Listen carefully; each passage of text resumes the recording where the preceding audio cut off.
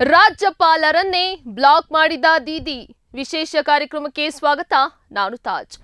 ರಾಜ್ಯಪಾಲರಾದವರು ಆ ರಾಜ್ಯಕ್ಕೆ ಆಡಳಿತಕ್ಕೆ ಸಹಕರಿಸಬೇಕು. ಆಡಳಿತದಲ್ಲಿ ವ್ಯತ್ಯಾಸವಾದ್ರೆ ಸಲಹೆ ನೀಡಬೇಕು.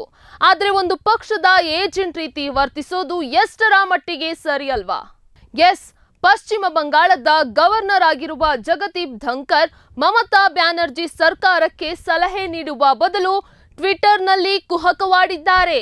ಅವರ ಈ ವರ್ತನೆ ದೀದಿಗೆ ಇರುಸು ಮುರುಸು ಉಂಟು ಮಾಡಿದ್ದು ಅವರನ್ನ ಟ್ವಿಟರ್ನಲ್ಲಿ ಬ್ಲಾಕ್ ಮಾಡಿದ್ದಾರೆ.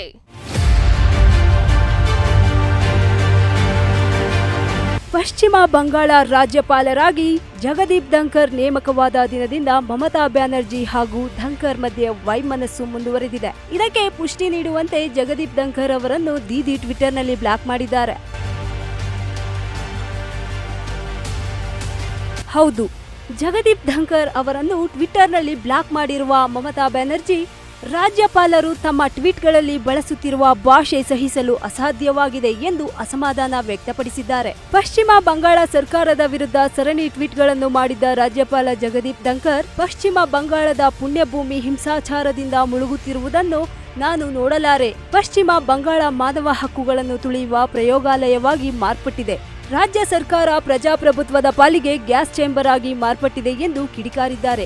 ಇದರಿಂದ ರೊಚ್ಚಿಗೆದ್ದಿರುವ ಮಮತಾ ಬ್ಯಾನರ್ಜಿ ಧಂಕರ್ ಅವರನ್ನು ಟ್ವಿಟ್ಟರ್ನಲ್ಲಿ ಬ್ಲಾಕ್ ಮಾಡಿರುವುದಾಗಿ ಸ್ಪಷ್ಟಪಡಿಸಿದ್ದಾರೆ. ಈ ಕುರಿತು ಟ್ವಿಟ್ಟರ್ನಲ್ಲಿ ಪ್ರತಿಕ್ರಿಯಿಸಿರುವ ಮಮತಾ ಬ್ಯಾನರ್ಜಿ, ನಾನು ರಾಜ್ಯಪಾಲ ಜಗದೀಪ್ ಧಂಕರ್ ಅವರನ್ನು ಟ್ವಿಟ್ಟರ್ನಲ್ಲಿ ಬ್ಲಾಕ್ ಮಾಡಿದ್ದೇನೆ. ಇದಕ್ಕಾಗಿ ಕ್ಷಮೆಯನ್ನು ಕೇಳುತ್ತೇನೆ.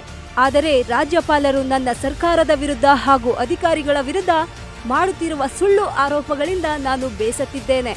ರಾಜ್ಯಪಾಲರಾದವರು ಸರ್ಕಾರಕ್ಕೆ ಸಲಹೆ ನೀಡಬೇಕೇ ವಿನಃ ಆದೇಶವನ್ನಲ್ಲ ಎಂದು ಅಸಮಾಧಾನ ಹೊರಹಾಕಿದ್ದಾರೆ. ರಾಜ್ಯಪಾಲರು ಅನಗತ್ಯವಾಗಿ ರಾಜ್ಯ ಸರ್ಕಾರದ ಜನಪ್ರಿಯತೆಯನ್ನು ಹಾಳು ಮಾಡಲು ಪ್ರಯತ್ನಿಸುತ್ತಿದ್ದಾರೆ. ಜಗದೀಪ್ ಧಂಕರ್ ತಮ್ಮ ಹುದ್ದೆಯ ಘನತೆಯನ್ನು ಕಾಪಾಡುವಲ್ಲಿ ವಿಫಲರಾಗಿದ್ದಾರೆ. ನಿತ್ಯವೂ ಅವರ ಟ್ವೀಟ್ಗಳನ್ನು ನೋಡಿ ನೋಡಿ ರೋಸಿ ಹೋಗಿದ್ದೇನೆ. ಹೀಗಾಗಿ ಅವರನ್ನು ಬ್ಲಾಕ್ ಮಾಡುತ್ತಿದ್ದೇನೆ ಎಂದು ಮಮತಾ ಸ್ಪಷ್ಟಪಡಿಸಿದ್ದಾರೆ.